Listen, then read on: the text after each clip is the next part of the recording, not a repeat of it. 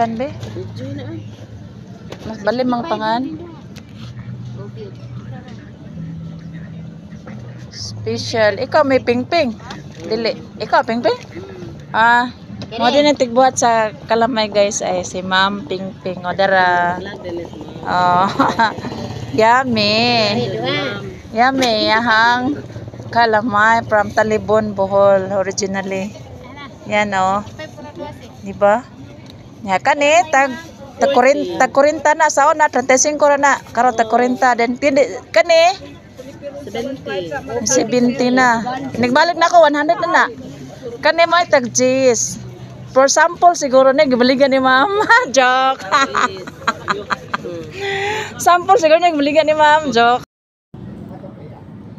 And guys, atong tilawan ang kalamay galing sa Talibon Port. Yan oh, sarap yan. Lagkit na rice. Yan oh. Yum, yum. Ah, sarap.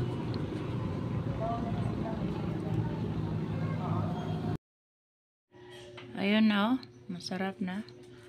Yan, masarap na, masarap.